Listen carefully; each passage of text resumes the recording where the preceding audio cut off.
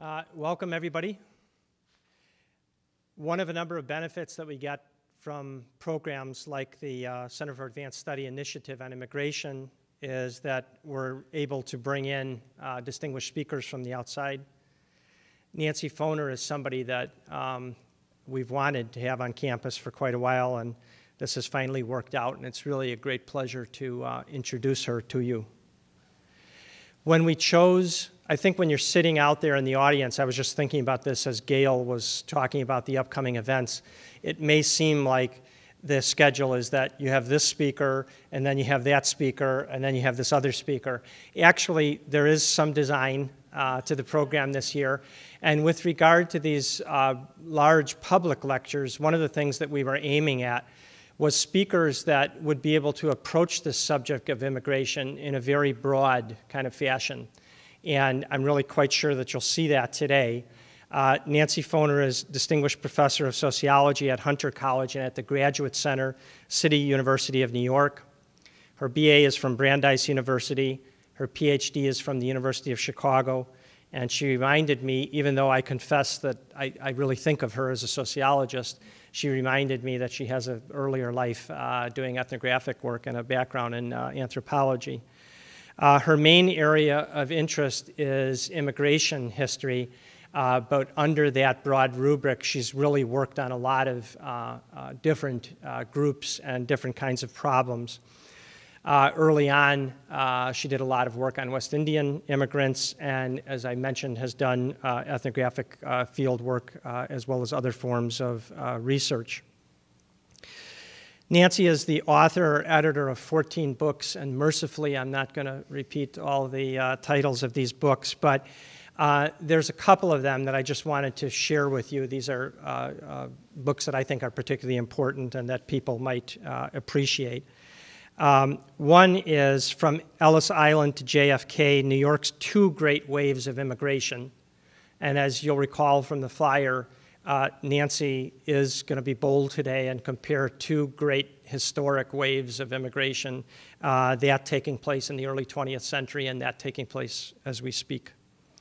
A second book, In a New Land, A Comparative View of Immigration, and uh, a third, a collection of essays which mixes historical work with contemporary uh, sociological research, is entitled Not Just Black and White Historical and Contemporary Perspectives on Immigration, Race, and Ethnicity in the United States. Nancy's most recent book will appear in 2009, and this is a collection of uh, essays from scholars working on a variety of groups, but all focusing on intergenerational relations within immigrant uh, families. It's this um, comparative work uh, between historical generations of immigrants that uh, has been most important for me. And I, I think it's remarkable in some ways how little of this kind of work that we have. We were talking about it earlier. And um, most historians, not all, some are very brave, uh, but most historians are, are fairly circumspect in terms of these kind of broad comparisons. And maybe it's a brilliant historical sociologist that has to come along and sort of stimulate us uh, with regard to this uh, kind of thinking. Um, I'd like you to ask you to think a little bit about this issue of immigration in the broadest possible uh, perspective uh, as uh, Nancy uh, speaks to us today. And I'd also like to ask you to please help me welcome Nancy Foner to the University of Illinois.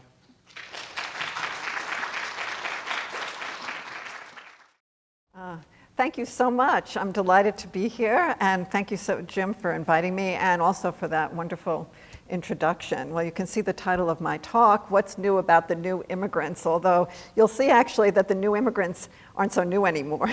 By now we're talking about uh, an immigration that's been going on for many decades.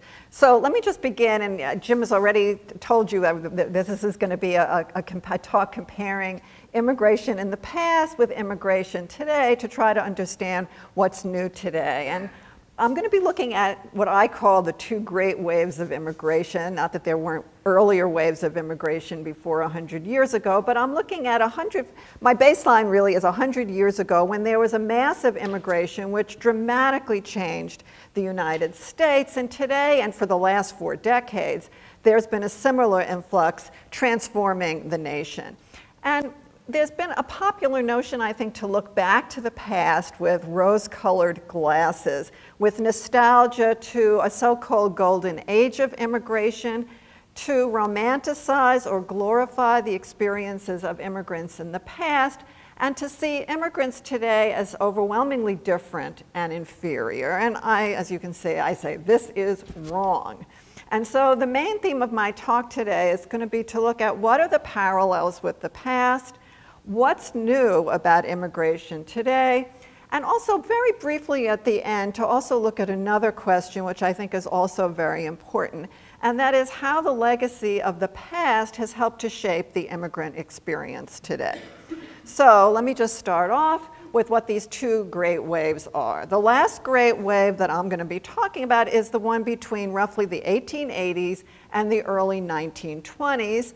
The present wave began in the late 1960s and, as we know, is still going strong. So, what I want to start out with is the parallels what is, this is the historical, actually historians, when they look at immigration today and the past, do tend to emphasize the continuities, I think in part because they feel, and I feel, that those have so often been overlooked and there's a tendency to see everything today as different and unique. But we are, first of all, there are many parallels with the past. I just want to highlight six. So first, and this may be pretty obvious, but it needs saying, we are not experiencing large-scale immigration for the first time. And here's these, this gives you the percentages. This is immigrants as a percentage of the US population. And if you look at this, you will see that in 2006, which is the last year we've got you know, good figures for, 12.5%, we can call it 13%, of the US population is foreign born. But if you look back at the early 20th century, what do we see? The percentages are actually higher.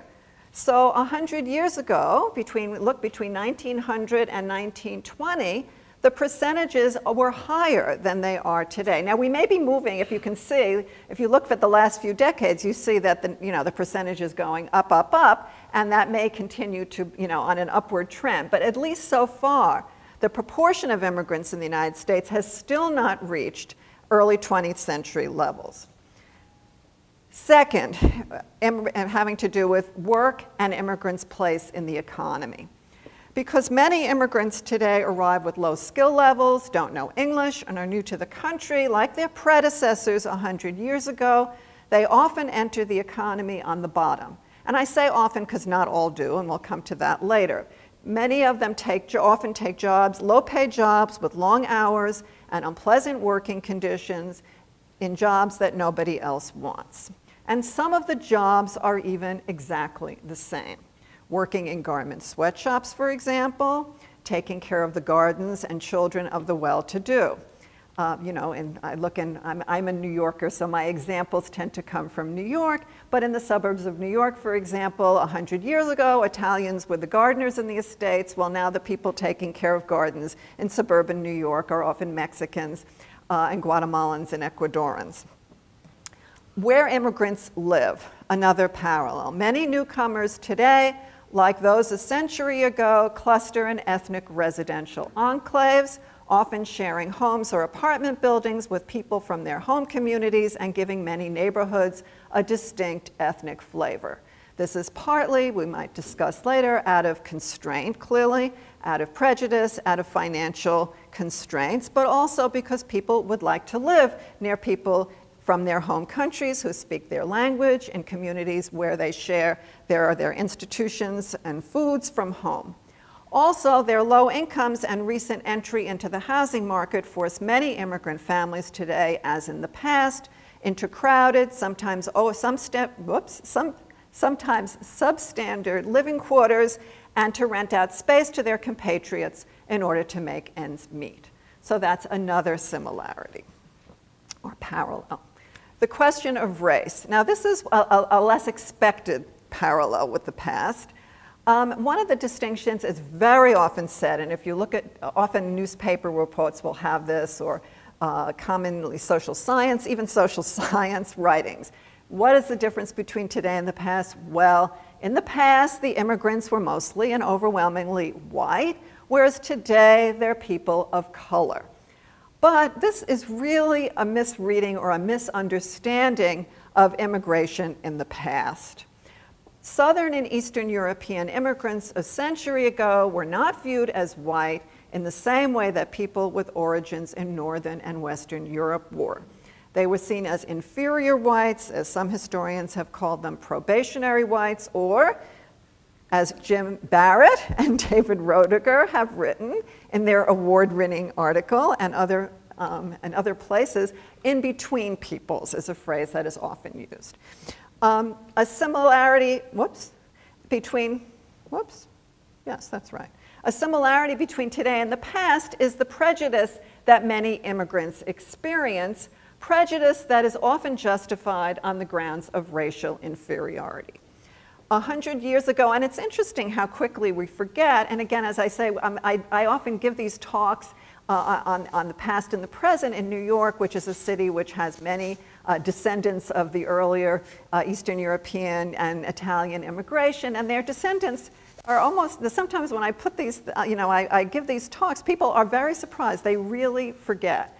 A hundred years ago, a common belief was that Southern Italian and Eastern European Jewish immigrants belonged to inferior mongrel races that were polluting the nation's Anglo-Saxon or Nordic stock.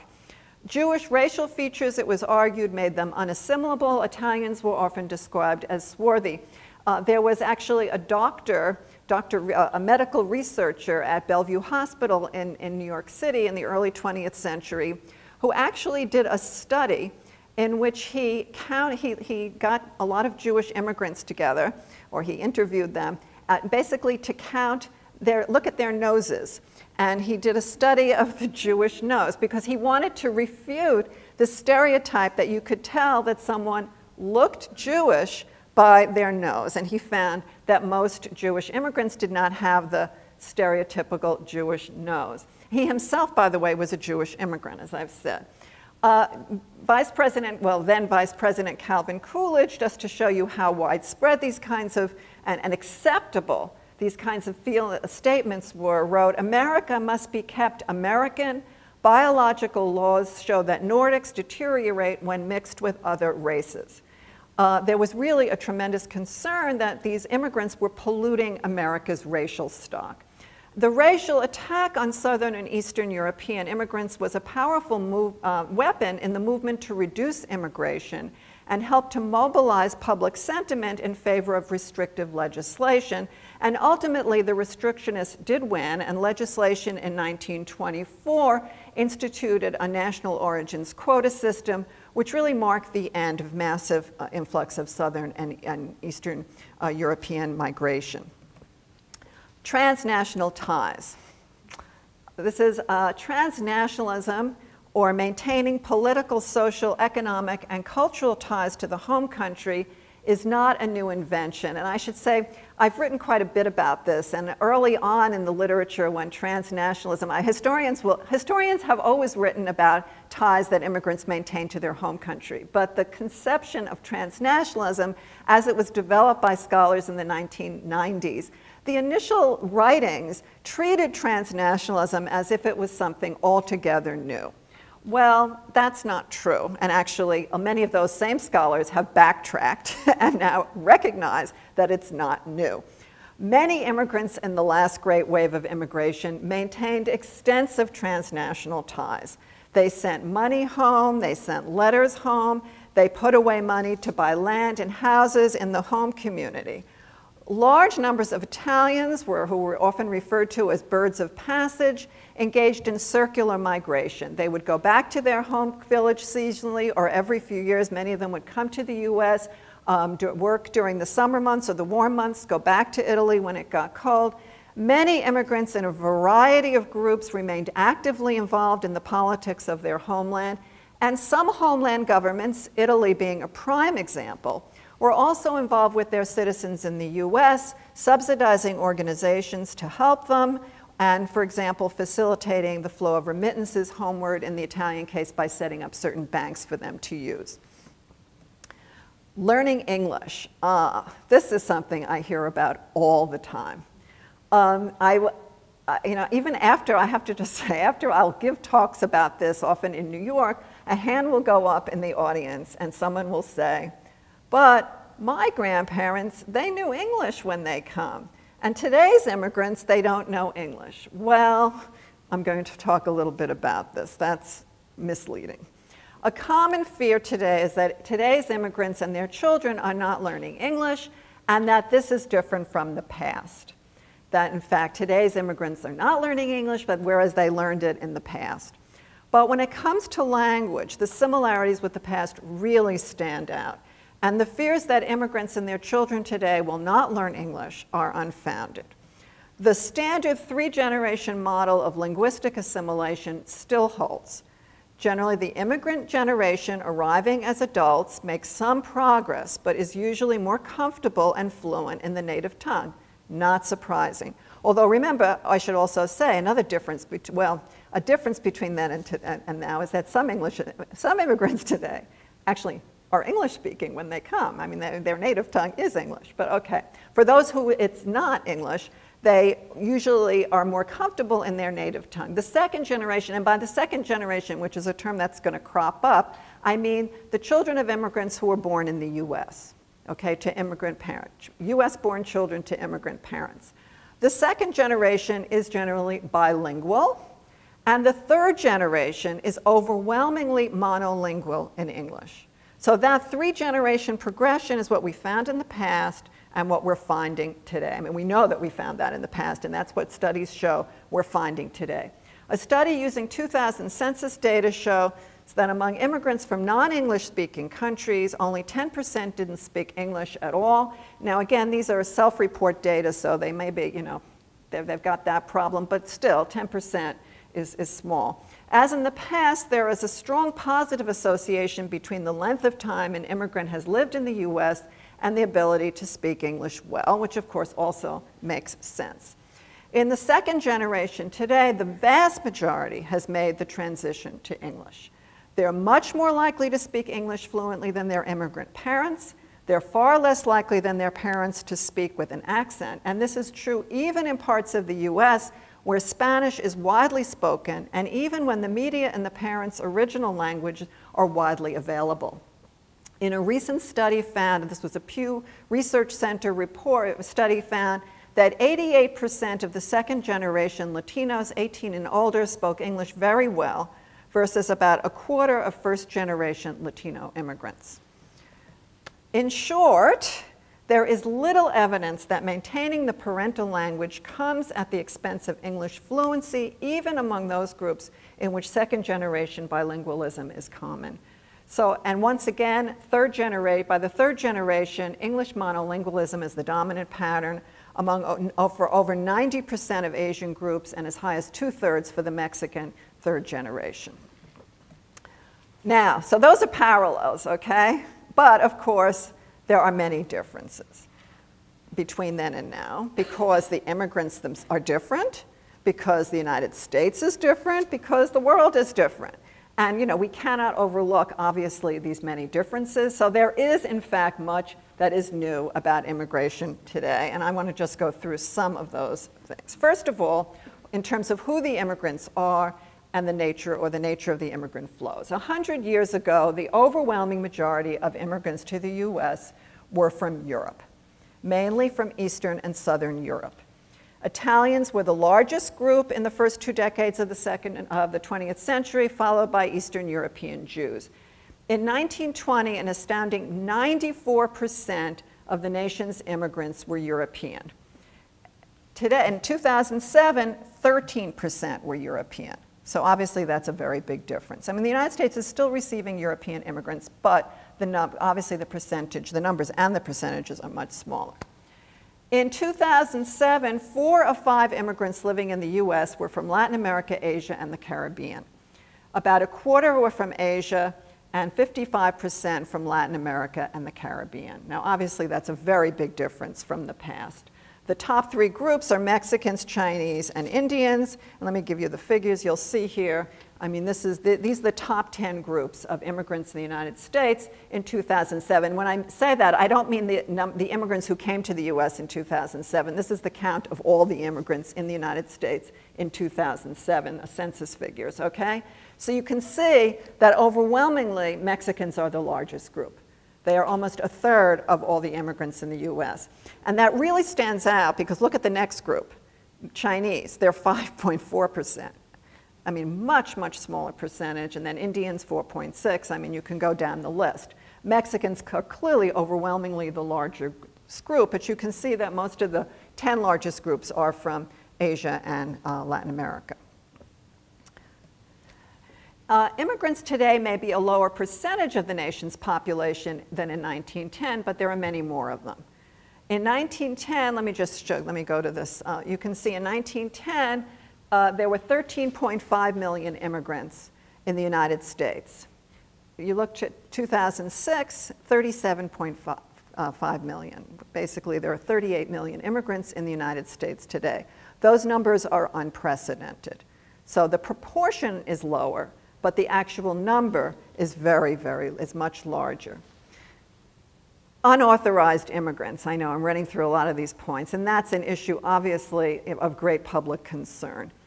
A hundred years ago, there were few restrictions on European immigration, so that hardly any European immigrants were so-called illegal, unauthorized, undocumented.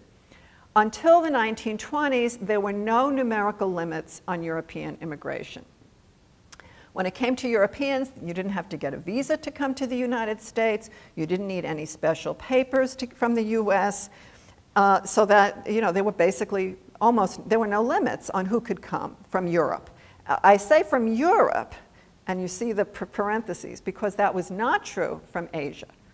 Starting in 1882, the Chinese Exclusion Act barred Chinese immigration. Subsequently, uh, this was extended to other Asians. So Asians were pretty much barred from entry to the US. But for Europeans in this period, they had the right of free entry. Uh, they came by boat. Most got through the ports very easily. Mostly this was Ellis Island. Since they'd already been screened, mostly for disease, on, by the steamship companies before being allowed on the boat. The reason for that, the US passed a law which said that the steamship companies were responsible if you didn't get through Ellis Island. The steamship companies had to pay for the passage of those who were rejected to ship them back to Europe. Now, obviously, the steamship companies didn't want to do that. So they instituted their own inspections in Europe before people even got on the boat. So actually, the, I, I, don't know, the stereotype, at least in my mind often, and that people of is Ellis Island was this terrifying experience where people were, you know, sent back. But if you actually look at the figures, only 1% of the 25 million immigrants who landed at Ellis Island before World War I were excluded. Most of them got through fairly easily. The big thing was getting onto the boat in the first place in Europe. Today, if you don't have authorization by US authorities, you can't legally live and work in the US. There are definitely numerical limits on the number of immigrant visas. I'm not going to go into all the details, but there are numerical limits on the number of immigrant visas allowed overall and per country. And in many countries, there is a long wait to get them, even if you have a family member to sponsor you and most immigrants to the U.S. come through family reunification provisions of U.S. immigration law. Something like 75 to 80 percent. Others come in through occupation. Most people come because they have a family member here who can, will sponsor them. In, however, the waits, particularly from some countries, for some categories, is extraordinarily long. So in 2007, a US citizen wanting to sponsor an unmarried adult child, and bear in mind this is an adult child, uh, from Mexico or the Philippines had to wait more than 15 years before the application would be processed. So there are very, very long waits, even if you've got a family member to sponsor you from certain countries, because so many people are applying for visas. The result is that many arrive, and by the way, and also some people don't have a family member to sponsor them, you know, close enough to get them in, because, um, well, to go in, the best thing is to have, be sponsored clearly, uh, to be a minor child sponsored by a parent, um, or a spouse sponsored by, uh, your, by your spouse. Um, but not, not everybody has somebody that close to sponsor you, or who's a legal resident, or even better, a citizen. The result of this, these long waits and the need to have family members to sponsor you is that many arrive or remain without proper documents. Um, and I should say, not everybody, get, you know, many, many immigrants arrive with proper documents. They don't come, quote, illegally. They come perfectly legally with a tourist visa or a student visa, but they overstay their visa. Others come in, particularly across the border, without proper documents to begin with whatever, the latest estimate, we have a huge number of undocumented immigrants in the United States. The latest, it's 11 to 12 million. The latest figure I saw was something like 11.8 million unauthorized immigrants living in the US. More than half of them are from Mexico. That's obviously, and unlike anything 100 years ago. The social and economic backgrounds of immigrants is also different. First, one of the things that stands out about today's immigration is the remarkable diversity of the backgrounds of immigrants. It's not just that they come from all over the world in large numbers, it's we're talking about their occupational, educational, and social class background. Many of today's immigrants are still poorly educated and low skilled. About a third, you can see, of the nation's foreign born 25 and older lacked a high school diploma in 2006 but substantial numbers now come with college degrees or more. In 2006, 27% of the nation's foreign born 25 and older were college graduates. Many people don't know, you know, think of that. I mean, their images, I think if you ask people, what's your image of an immigrant today? Many people, first of all, would say undocumented. And although there are many undocumented, the vast majority of immigrants are what? Legal residents of the US. And also, they would say it's somebody low skilled. That's, there are a substantial number of immigrants with high skills and high levels of education. In fact, never before in US history have there been such a high percentage who have arrived with such high educational qualifications. Now, of course, they may not be able to practice the occupation that they were trained for back home because they don't speak English, because they don't have can't meet licensing requirements, but they come highly, many come highly educated. Where immigrants live, a hundred years ago, most European immigrants went to the Northeast and Midwest, not surprising. This is where most of the people in the nation lived. I mean, they were going where there were jobs, where there were cities, where most of the population was.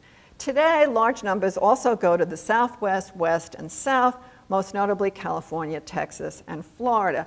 Now, although immigrants are now more spread out around the country and dispersing to new destinations, and that is a phenomenon, again, I'll come back to, of the very recent times, of about a decade ago, really, the recent immigration is more concentrated in particular states and metro regions than 100 years ago. In 2007, almost two thirds of all immigrants in the US lived in just six states, and you will see that Illinois is one of them. Uh, California you see has the largest uh, immigrant population in the nation, 9.9 million, followed by New York, you can see 4.1 million. This is the states, okay? Florida, 3.5 million, Texas, 3.4 million, New Jersey, 1.9 million, Illinois, 1.7 million, and Georgia, which is interesting because that's a real, relatively new destination, uh, 953,000. About one third, actually, I think this is a pretty phenomenal figure. About one third of the nation's immigrants live in two urban metropolitan regions, New York and Los Angeles. I mean, uh, there is a lot of, we'll, and we'll, again, I hope we'll talk more about it. There's been a movement of immigrants in the last 10, 15 years to non traditional gateways, which is what they're often called in the South and in the Midwest New York and Los Angeles still are the real immigrant capitals of America. They have a huge proportion of the nation's immigrant population. First stop suburbia is something new too today. Suburbanization, of course, is a fact of life in America today, and immigrants, like other Americans, often go to live there. I think what's new is not that they go to live there, it's that they go to live there in many cases first. They don't even stop in the cities. They, many of them go to suburbia right away. Highly educated immigrants are especially likely to settle in middle class suburban neighborhoods with better neighborhoods, amenities, and schools.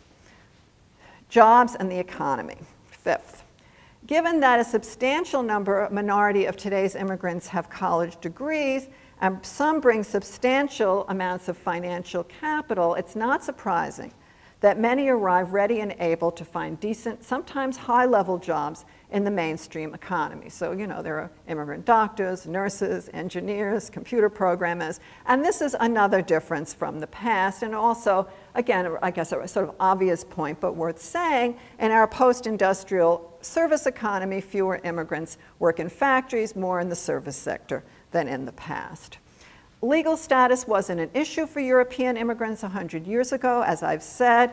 Uh, it is for many immigrants today. Now, having a green card, you know, or a, being a legal permanent resident is not a recipe for success necessarily, but without one, an immigrant has much more trouble getting a good job, making a living wage in the formal economy, is liable, as we've also seen from newspaper accounts, to deportation uh, and arrest. And this has enormous ramifications for their own lives and it's likely, I think, for the lives of their children as well.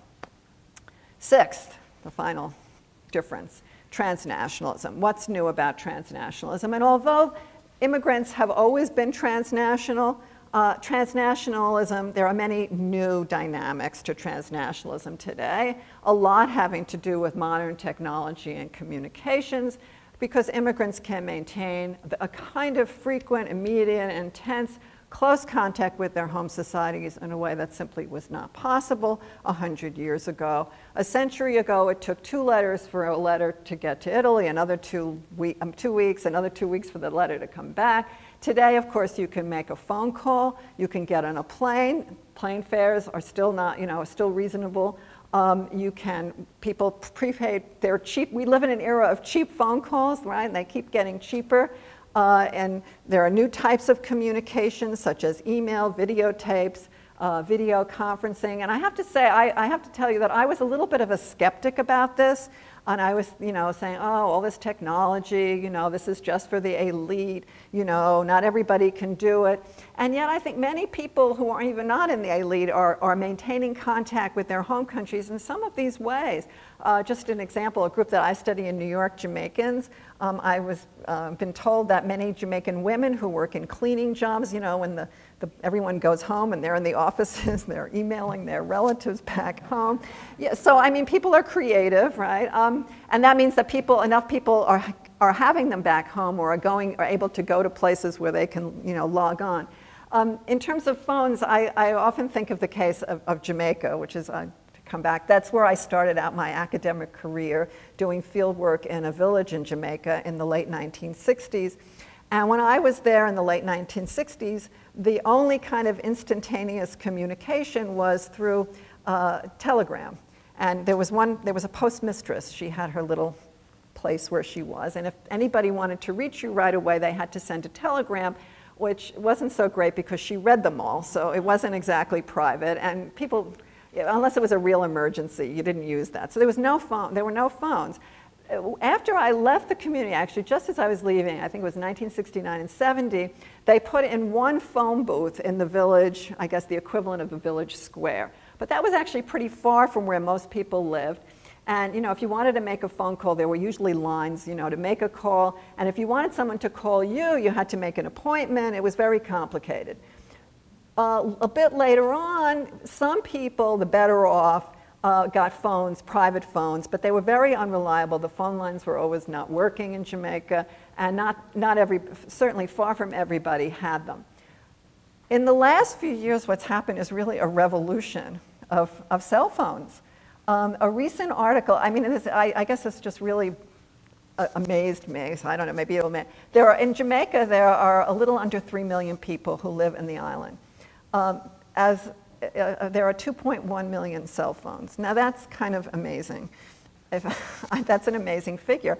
What's happened is people are, you know, have, and what they're doing, they're not only calling people in Jamaica, they're calling their relatives in New York, they're calling their relatives in Toronto, they're calling their relatives in, in, in, in Florida. They're speaking to them several times a day. It's cheap you know, you get these phone cards and it's really quite inexpensive. And I think one of the interesting things, you know, for further study is how the access to phone, these, these cheap calls and, the, and cell phones in, in communities like this are really changing the nature of relations between people when they're, when they're abroad and their, relatives who've migrated because the, this kind of constant phone communication. In fact, one of the things that one of the people who has studied this says is that it actually created a lot new demands on people.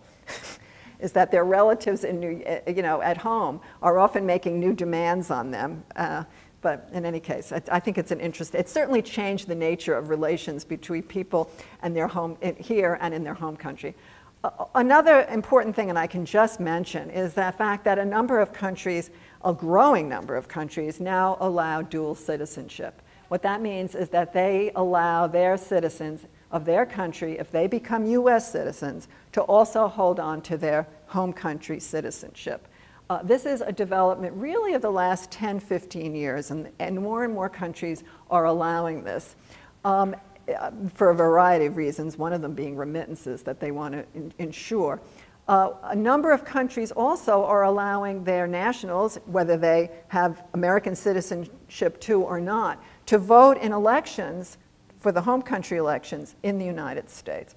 So far, not that many people are taking advantage of that, but I think growing numbers will, and that's a very interesting development. That's something new. Continuing immigration. I think that's something really important. In the past, there was a halt in mass immigration from southern, whoops, you can see that I didn't spell that right. southern and Eastern Europe in the 1920s as a result of legislation in the 1920s that restricted immigration, and then followed by the Great Depression and World War II. So that we really had a period when there were, from Eastern and Southern Europe, you did not have much immigration at all after in the mid 19, the late 1920s, and immigration didn't really start in a massive scale until the 1960s.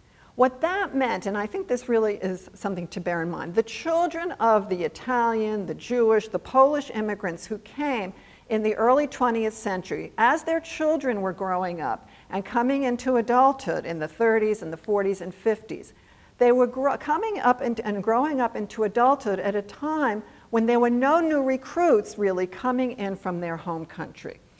Um, and that changed the whole process of assimilation, I think. Today, this is different because immigration has been continuing at high rates, and at least so far, a halt anything like the past is unlikely. Just to give you an idea, because I think this is quite, you know, is a figure worth considering. In 2006, 30% of immigrants to the US came between 1990 and 1999.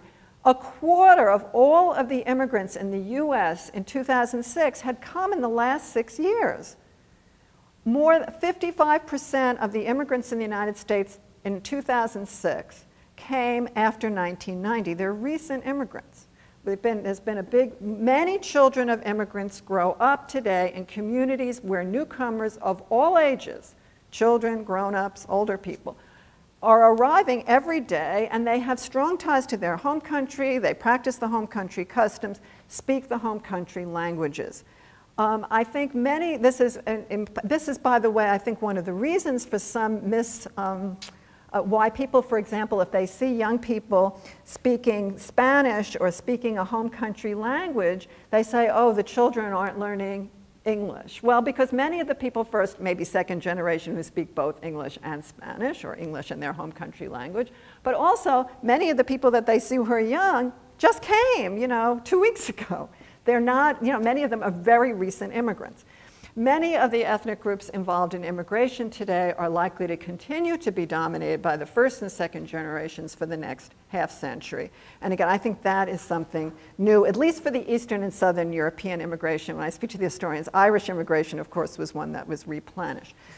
Um, finally, I just want to add just a few words about the, how the legacy of the past shapes the present because I think it's not just a question of what's different between now and then, it's how the incorporation of newcomers in the past or the legacy of immigration has shaped the contemporary immigration experience.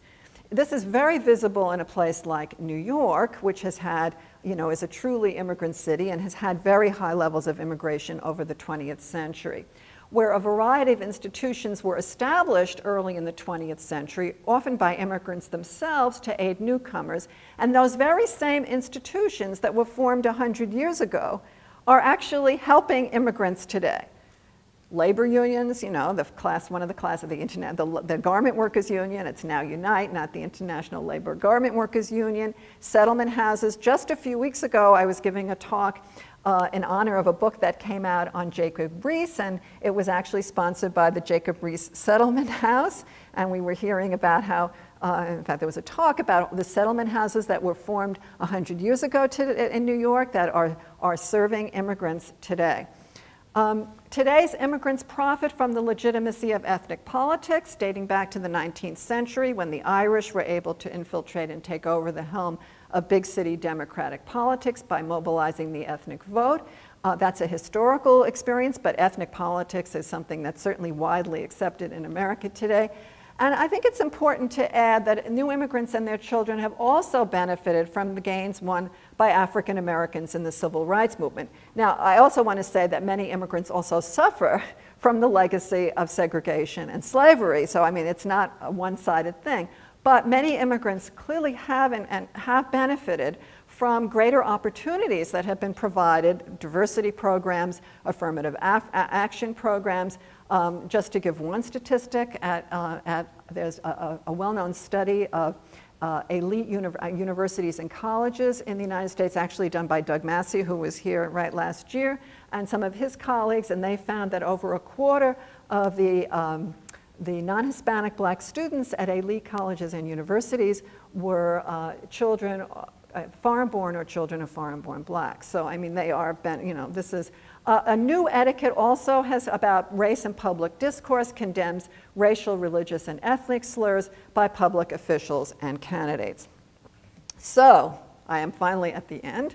Um, as we look at immigration in the 20th century America, I think it's helpful to look at it with a historical sensibility to try to appreciate what's genuinely new about contemporary immigration as well as the ways that we've been there before. And I just like to end with a quote from the historian David Kennedy, which I think is a very nice way of putting it. He wrote, The only way we can know with certainty as we move along time's path that we have come to a new place is to know something of where we have been. So let me end there, and then we can open it up for, questions.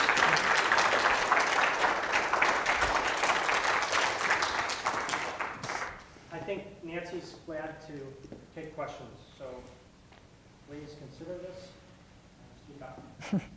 and I think the, if we're doing it the way we usually do it, a microphone kind of works its way around mm-hmm. uh, as you uh, raise your hand. And if the students don't speak up, the faculty start talking, and they'll never shut up. Please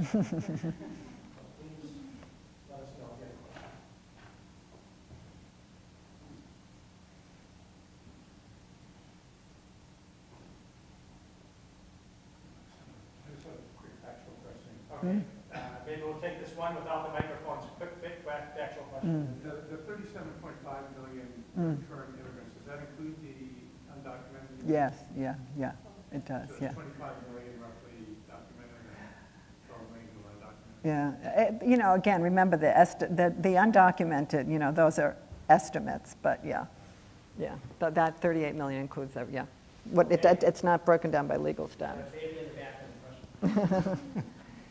Can you talk to us? Um, you seem to have attacked many of the myths of, of, of the immigration debate, but one of them that uh, wasn't dealt with directly is uh, criminality, crime in immigrant areas, and then a related one, violence. Why would you say that in the US we have not had the kind of violence confrontation that Italy, France, and other countries are, are presently dealing with?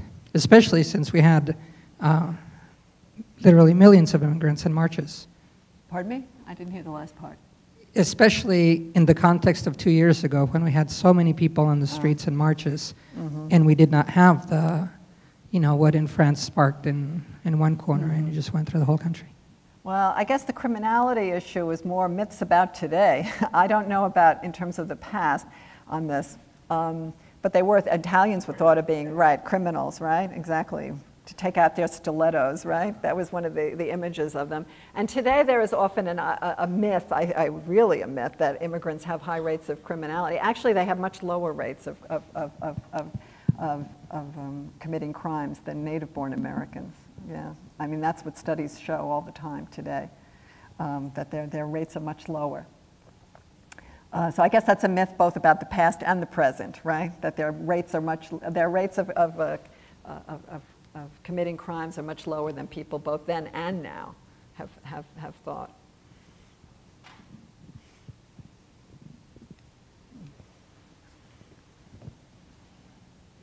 This is the phenomenon with the microphone I was referring to. Oh, that it takes a while, yeah. Kind of slow. Thank you. Um, So you um, spoke about the pre-1930 or pre-1940 uh, development of national quotas in the immigration law, but I wonder if you could give us a little history of the development of these very, um, what seem to me, these very sort of rigid and limiting immigration laws that we have now compared to um, except for the Chinese exclusion, I suppose, compared to, um, uh, say, 1908. You know, in U.S. immigration law is a kind of interesting thing because, on the one hand, new American immigration law is actually quite expansive. We allow in large numbers of uh, legal immigrants every year, and I, whoops, and paradoxically, um, every single law that's been passed since 1965 has actually expanded the number of legal immigrants who can enter. So actually, in terms of legal number of legal immigrants being able to enter, the law has actually expanded that continually since 1965. Now the problem is obviously is that it's also obviously not expanded enough, particularly from certain countries, and the one that stands out most is Mexico as we saw. I mean, 31% of America's immigrants are from Mexico, and Mexicans make up the bulk of the undocumented immigrant population. And part of the problem is, is that the immigration laws treat Mexico like any other country. I mean, you know, it treats it like Jamaica, I, much as I have my, you know, I'm fond of Jamaica. I mean, Jamaica has 3 million people, under 3 million people. Mexico has many more people and, you know, much, and, and, shares a border. And in fact, also we have a free trade agreement with Mexico, and yet people are limited in their movement. So that's been the problem. I mean, it, one, of, one of the main problems. So um, it's our, actually, the laws in terms of legal immigration have actually expanded. I, I, I don't know if that will continue. I mean, even in the last, when, when Congress was discussing uh, what to do about the problem of undocumented immigration and whether to create pathways to legalization um, and citizenship ultimately, right, for, for, for undocumented immigrants, there weren't really calls to limit the number of legal immigrants, which is interesting. I mean, that hasn't been there still, and, and that, that's, that, that hasn't been, maybe that will come as the economy, we don't know, as the economy gets worse, perhaps there will be calls to restrict the number of legal immigrants. But the United States allows, you know, you know what the last year was, only, it was about six or 700,000, but in many years over the last stretch, it's been well over a million legal immigrants who've entered, which is actually in absolute numbers the largest of any country in the world. So it's, you know, it's a, it's a, it's a, there's two sides of the story. I mean, I think a, a lot of the problem is, is undocumented immigration, particularly from Mexico and Latin America. I mean, in terms of their limits of being able to come.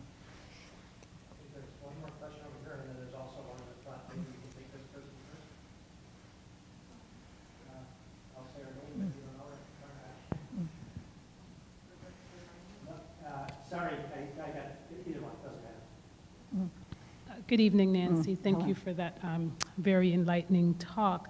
I noticed that you used the word, um, the term rather, assimilation, and I'm just wondering um, how does how does sort of the newer debates that suggest that people, actually immigrants, didn't necessarily assimilate, but sort of the the term that people are throwing around uh, for the idea of hybridity, so to speak, um, because I'm thinking about that in terms of transna- the concept of transnationalism.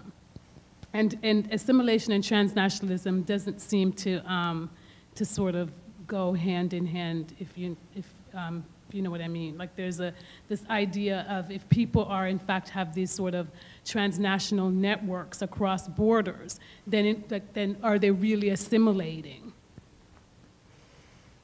Um, okay, that's a complicated question um, and a very good question. Um, I think my own view is that we have assimilation and transnationalism going on at the same time. I don't think that they're mutually exclusive. But I think you're right that there are new conceptions of assimilation that at the same time as immigrants are becoming, for want of a phrase, I don't know how, more American or becoming part of American society and adapting, learning English, for example, uh, we see patterns of intermarriage, we see quote, residential assimilation, and as they move out of ethnic neighborhoods in many cases into neighborhoods with other, other folks. Uh, but at the same time, I, but I think one of the benefits of the new conceptions of assimilation is to say, well, that's looking at it, it's not just that immigrants are becoming, uh, changing themselves, changing and becoming more like other Americans, but they also are themselves changing America. And I think that is they are reshaping America just as they reshaped America in the past. That's not something, that's, that's something that always has happened in American society. I think that is the, actually that, rather, I, I think that immigrants can maintain ties to their home country and become and be involved in life in their home country at the same time as that they are involved in life here as they become involved in political parties, as they go to religious congregations here, as they send their children to school here, as they learn English, as they may intermarry, as they intermix, as they become very involved with American society, uh, whatever you want to call that, whether you, um, and then they also maintain ties to their home country. The big question, if we come to the literature on assimilation is we really, I, I don't think there's an expectation that immigrants, after all, particularly if they came here as adults or young adults, are going to give up many of their customs. I mean, they're going to maintain many of their home country customs, or maybe maintain is the wrong word, because they're going, you talked about hybridity. They're going to change and shift somewhat in the new environment, uh, but they're not, they're not, they're not going to be just like people who've you know, lived here for generations and generations. Uh, but it's really among their children the children of immigrants, and I think that's one of the reasons for the big interest now in second generation studies, uh, to see what happens with their children. And if we're looking at transnationalism among children, I think over, so far at least, the literature is showing that the children are not that transnational.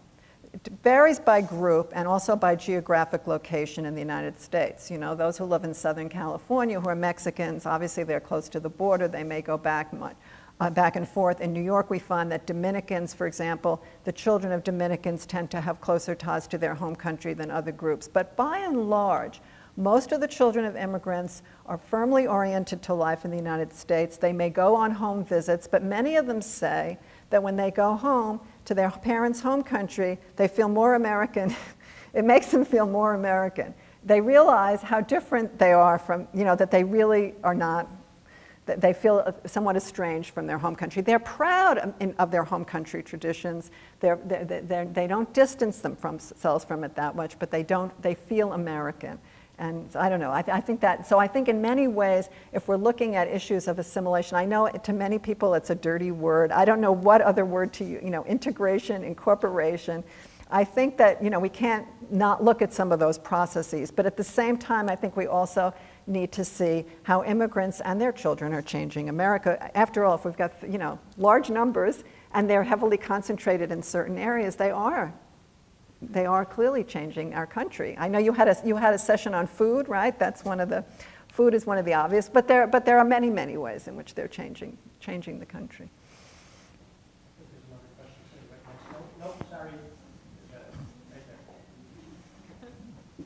Thank you very much. Uh, one question I just needed to make sure I'm understanding it right. Between 1980 census and 1990, the percentage Between percentage 1980 and 1990. yes, the percentage of Im, uh, immigrants doubled almost. Does that have to do with the um, amnesty law? When you were That showing period, the percentage? yeah, that period had a lot to do with the amnesty law. Because, you know, 1986 was the IRCA, right, the immigrant, was passed, and so you had up until what, between 86 or whatever, up until what, 91 or 92, So you had over a million people legalizing that way. Yeah, so the numbers went way up. So, but this, so these percentages were the legal immigrants? The, the percentages that I gave you, right? Yeah. That, that, that, those are not by legality. Those are just the immigrants who are counted by the US Census. Now, if anything, they're an undercount, right? But, um, no, those, they don't distinguish between undocumented or documented. So when I said that, you know, 25% of the immigrants in the United States to, in 2006 came from 2000 to 2006, some of those are undocumented who are counted by the census. It doesn't differentiate. Is that clear? Or? Yeah, I have to work this out because if these were the same people that were in US just got legalized in 19, 1980s. Well, not in 2000. The, the, the, legalization, those who got legalized by IRCA would be between about 1987 and 1991, yeah. or whenever the law, when was it, 1992. It was just a short period.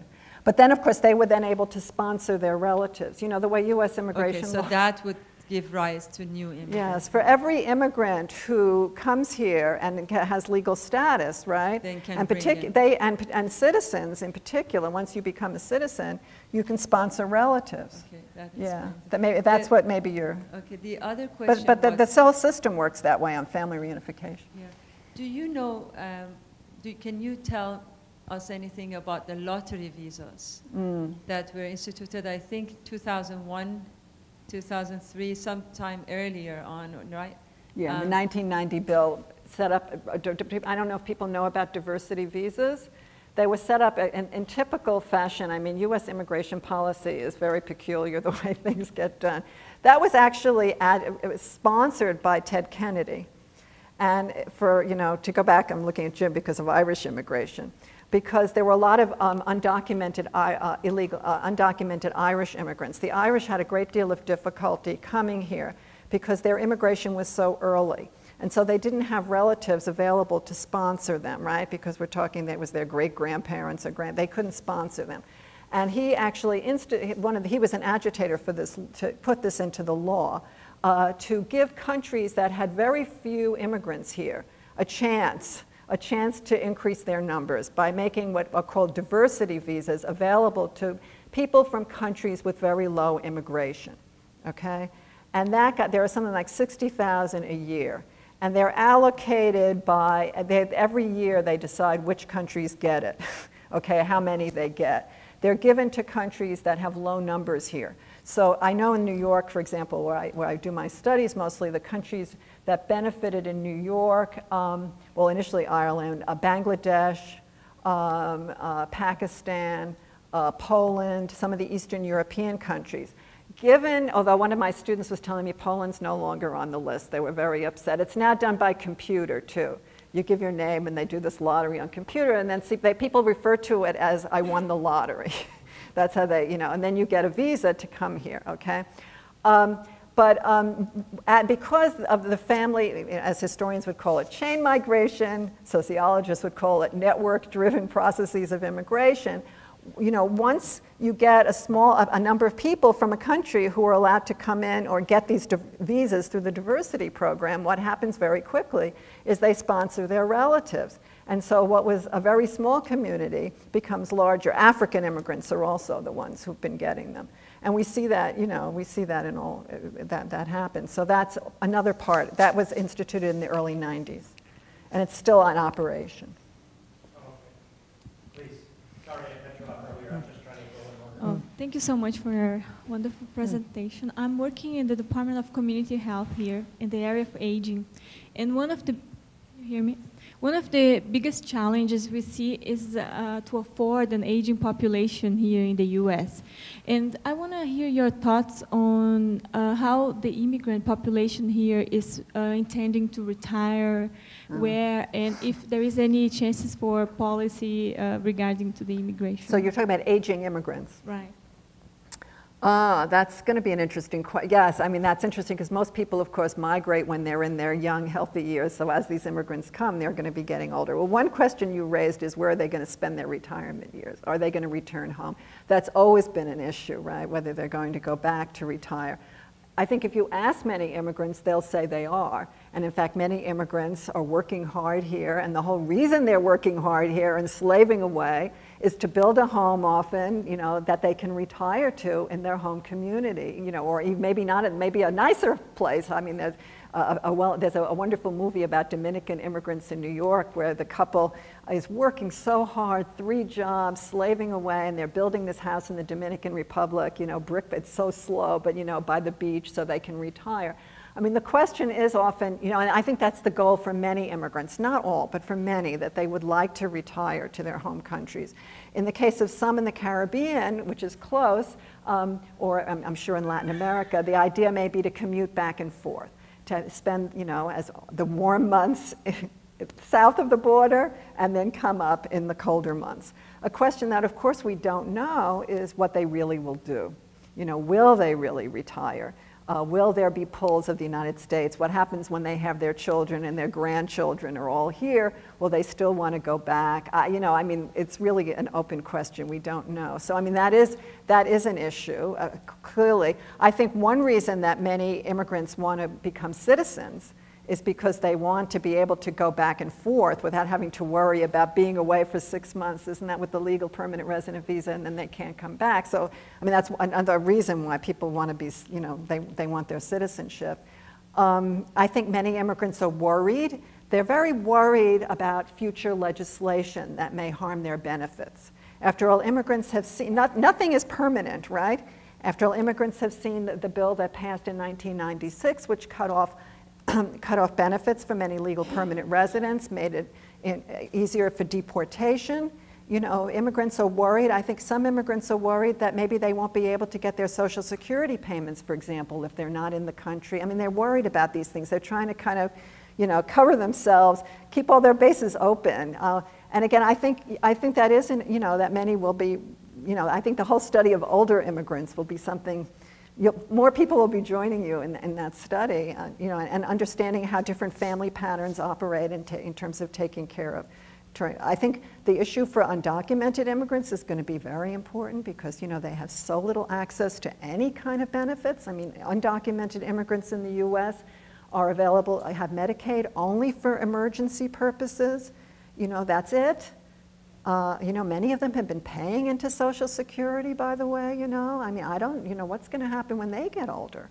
I mean, that's a real, a, a very, you know, we're talking about a lot of people. So, you know, and if that continues, don't know. I mean, so there are a lot of questions, I think, that arise that, that, that are important.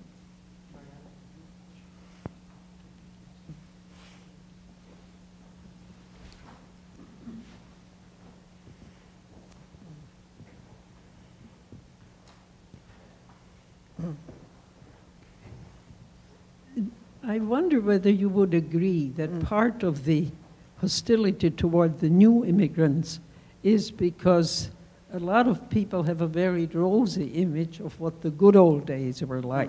Mm.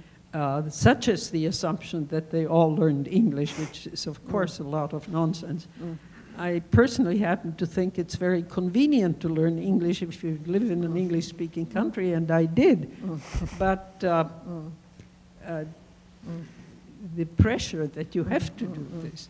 Uh, and I, I, think a lot of it is, is simple ignorance. They assume it all was much better than. Mm-hmm.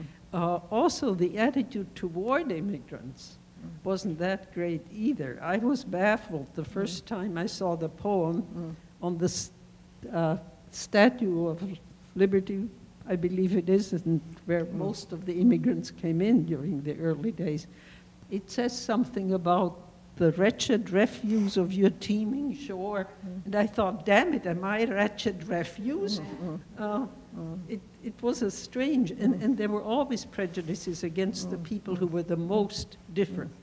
The fact that during World War II, the Germans in this country, by and large, lived perfectly comfortably. The Japanese were put into camps.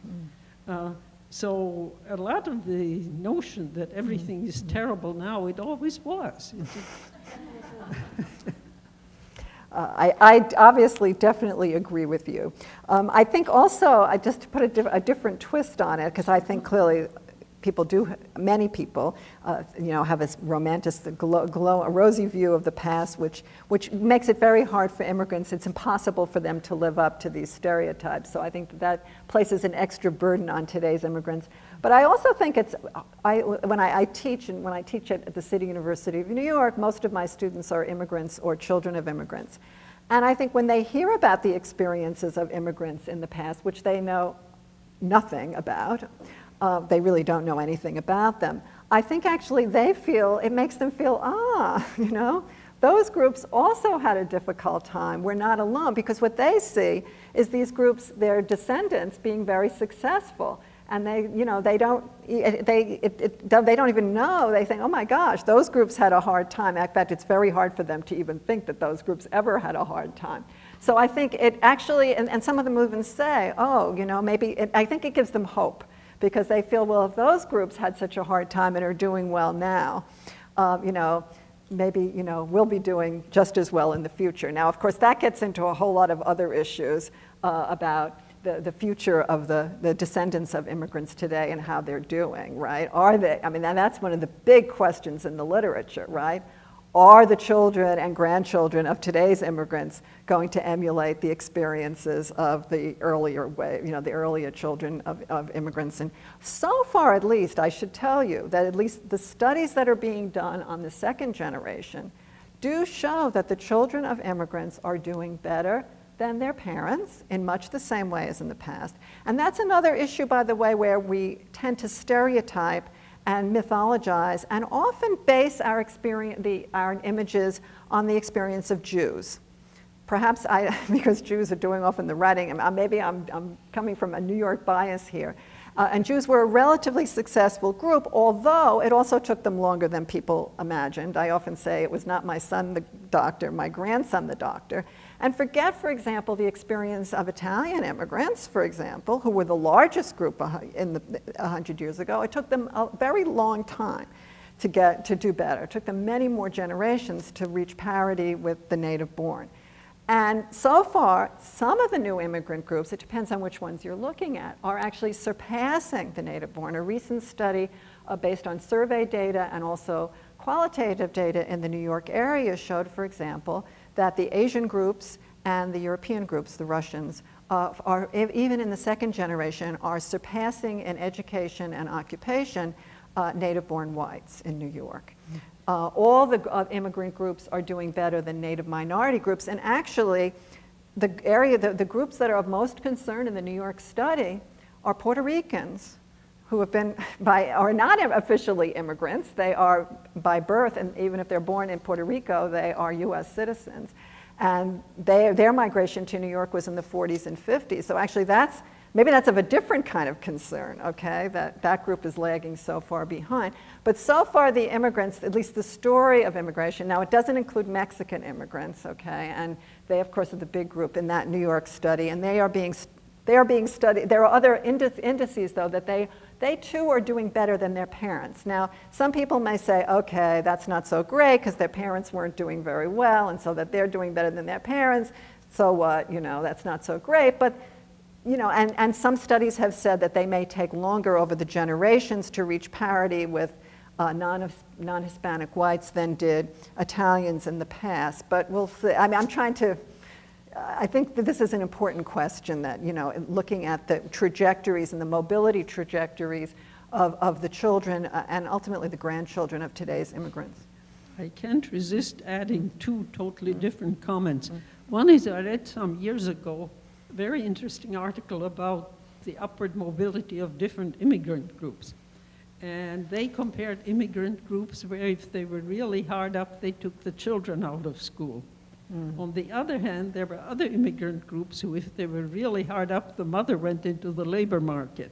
And mm. guess which groups were more upwardly mobile? Mm. That's a feminist speaking here. Mm. uh, the mm. other comment I want to make that I know, I'm sorry to say, some people who are very opposed to immigrants and they are different and they are this and that. And my standard comment is you really live, want to live on Anglo Saxon food for the rest of your life?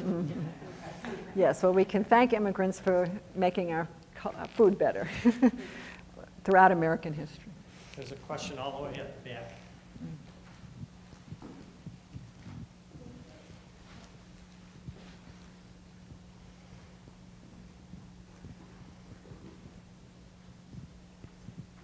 Hi, um, I'm Nancy Joseph, and I just have a question about um, you made a comment saying that the new immigrants are, you know, changing America. It's not just this, you know, unidirectional process. Yeah. And um, I'm thinking about even the notions of race. So we have with the, um, you mm -hmm. know, first wave of immigrants coming in and Mm-hmm. bringing in this, changing the notions of whiteness. So Mhm, what are mhm. these new immigrants doing to Mm, these, you know, previously defined notions of race? Well, they've had a dramatic effect clearly on transforming notions of race. I mean, you know, the black-white binary, as people say, right? We think of race in what a fourfold terms now, right? I, on the whole, I mean, that's if you read newspapers, right? Black, white, Asian, Latino. Um, uh, I, I- certainly, I'm looking at at at, at um, people of African ancestry, and it, I think it depends on where you're looking, you know, what area. But I, again, coming from New York, where I would say at least a third of the um, non-Hispanic Black population is for foreign-born, and even higher if you include their children. I think. Um, uh, one, one observer, Milton Vickerman, in a book that I edited on West Indians, says that West Indians are tweaking monolithic notions of blackness. And I think he may be right. I think that a, a greater sensitivity to ethnic distinctions among blacks um, than, than had been before. Um, that, that, uh, now, that's not the only factor. Immigration is not the only factor. There's a growing black middle class. I mean, there are other factors that are going on in terms of changing views of, of, of blackness. Um, so I think, yes, immigrants are having a, a and then intermarriage and, and, and new racial mixtures that are occurring as a result of, of immigration. Yeah, I, I think it's, uh, that's something that's very much being transformed. I mean, there are a lot of speculations about ultimately where this is going. I mean, there are the pessimistic and the optim, you know, the optimistic and the pessimistic. Uh, you know, I mean, the pessimistic, I guess, would be saying that we're trend, moving towards a, a black, non-black racial order in which, you know, blacks once again will be on the bottom and Asians and uh, light, lighter skinned Latinos will be able to move into a, maybe a new category that won't even be called white. Um, I mean, or there may be other, you know, other scenarios moving down the line, but clearly, I mean, Hispanics are now the largest minority group, 15% of the population. Um, you know, I mean, there's Asians are growing. There's tremendous amount of intermarriage between Latinos and whites, and even more so Asians and whites. I mean, that's obviously changing perceptions and constructions of race. And of course, we have a, you know, I mean, all there are other things going on, and we have, right, a son of an immigrant running, right, a, a, an African immigrant running for president. So, I mean, I think clearly, yes, I think immigration is, is a major factor behind evolving, changing conceptions of race. Yeah. I want to give Nancy a rest in a minute. but, uh, This question could be for anybody in the audience. I wanted to slip in a question. Um, Nancy mentioned that, uh, I'm thinking about the implications of this comparison.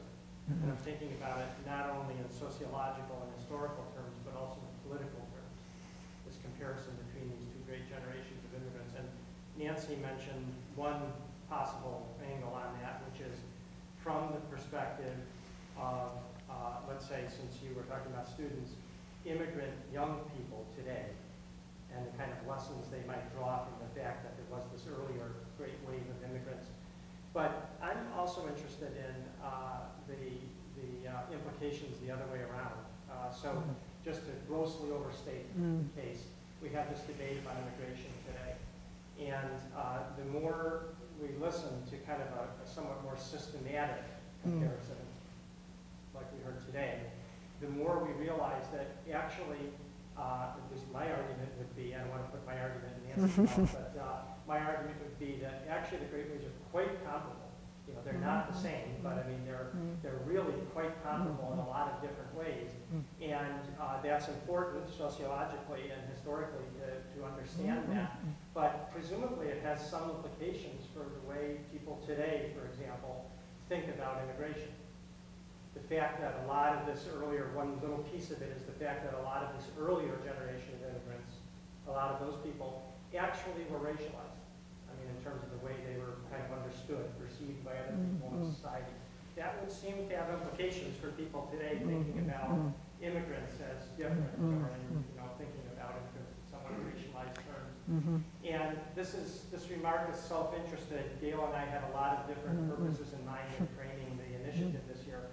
But one of them certainly was to speak directly to immigrant youth, especially here at the university, to get people thinking a little bit about immigration as long-term kind of process in the United States in comparison to be made across these mm. generations.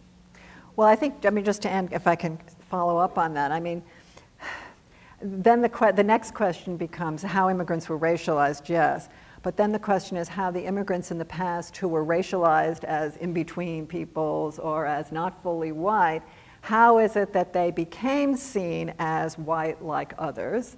And then the question is are we going to be seeing parallel processes going on today?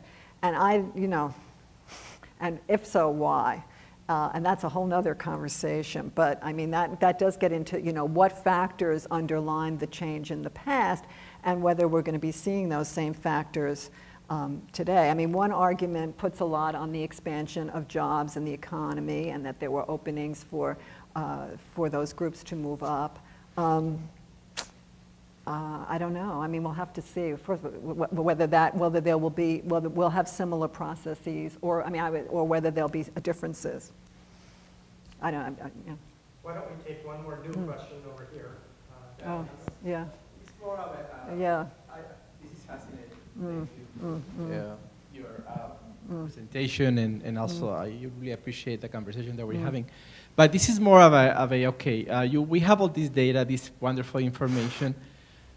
Let's say that, okay, uh, January, January 20th, 2009, you know, Nancy Foner, would you please come to Congress and make a case? Right. I mean, what, what would you tell Congress uh, that, you know, again, because obviously I agree with what you are saying and uh, how far, politically speaking, you know, in terms of Mhm. Washington and Congress in particular, Mhm. we've seen what the media has done. We've seen what, uh, you know, also what different congressmen and women have done to, Mhm. to influence immigration policy in, you know, in Washington. And we've seen the failures of it.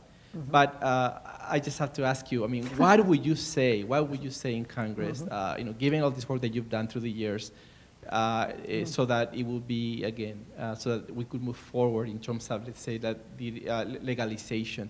Well, that's obviously the key issue. I mean, legalization is the key issue. I mean, uh, you know, we have a country where we have 12 million people who are, you know, don't have a right to live here, and yet they're living here and they're working here.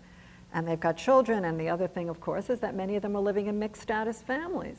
I mean, they have children often who are US citizens. There are people of different statuses in their family. It's really an untenable situation. I, I mean, I think it, it will be addressed in some ways. The question is how. I mean, I would support, you know, a pathway to, to citizenship, right? Uh, for, but, you know, a, a legalization program.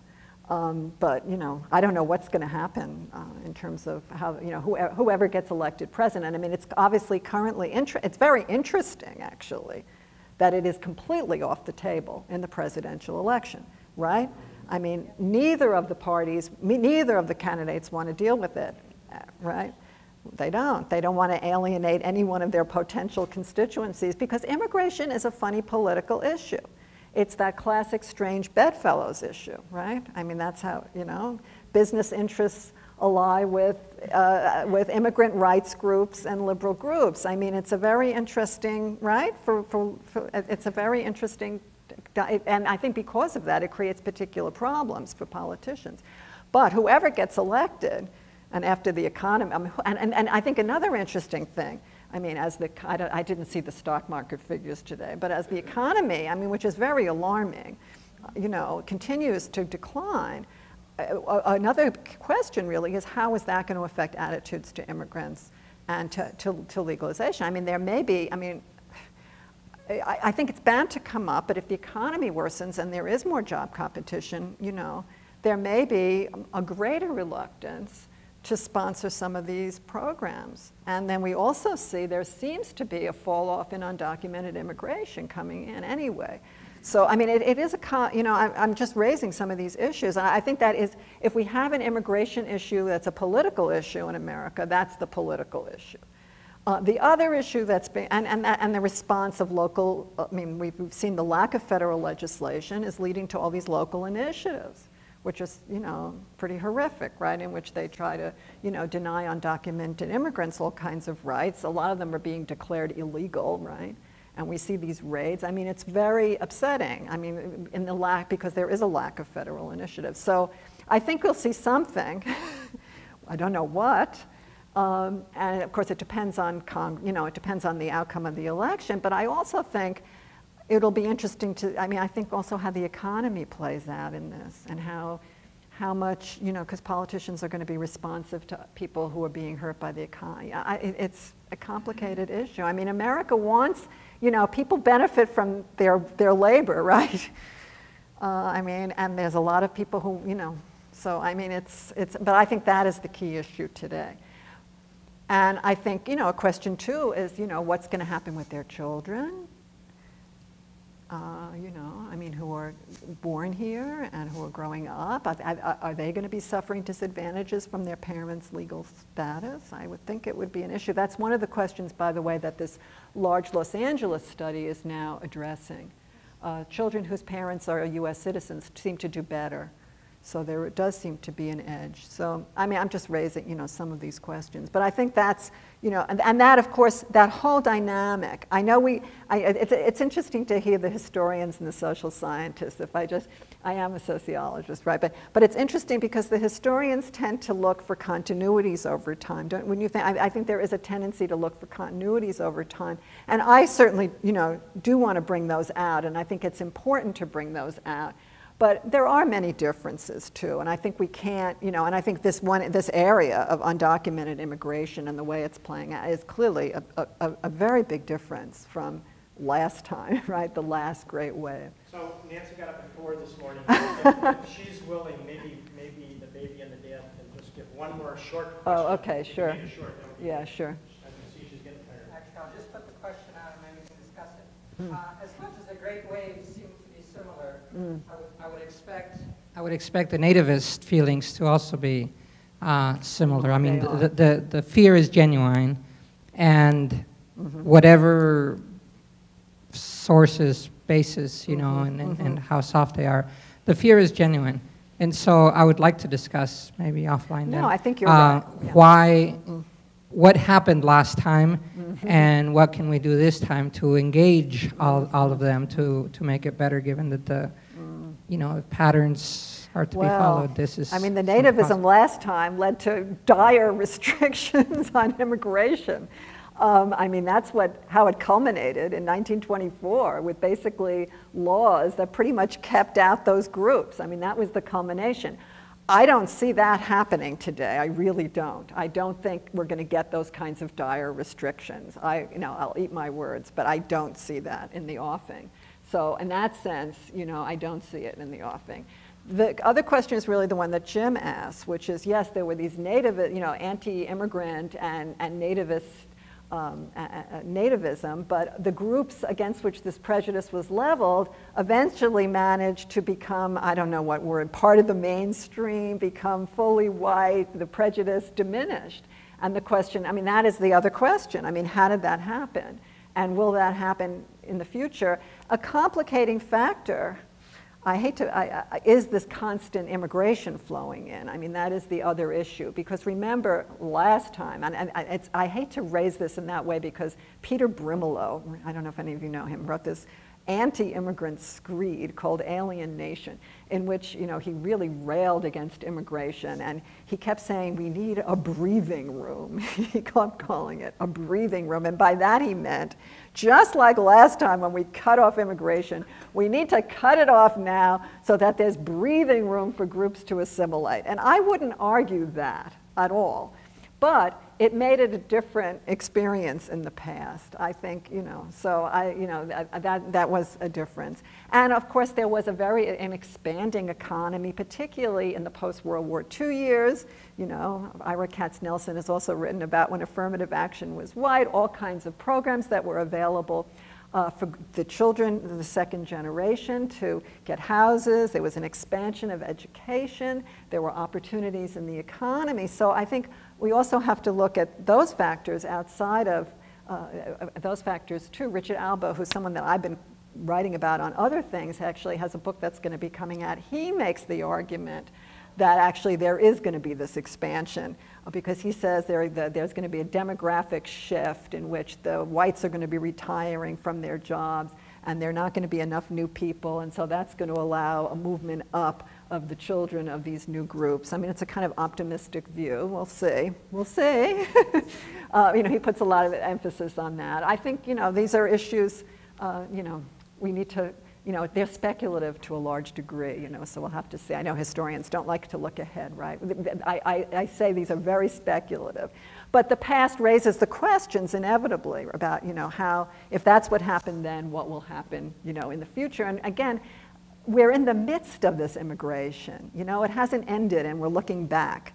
It's ongoing, you know, so it's, it's, it's something that keeps, is, it, we, we keep, as, you know, as I speak, new immigrants are coming in, I mean, every day. And so it's something that we're in the midst of. I think as a, as a person who studies immigration that this makes it very exciting, but it also makes it, you know, a little, it, it's, it's, it makes it difficult sometimes to, to study or to see what's going to happen in the future. Okay, time for beer. Thank you, everybody.